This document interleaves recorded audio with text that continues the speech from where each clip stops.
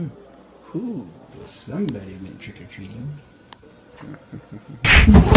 fuck was that? Hello, darkness, my old friend. I've come to talk with you again.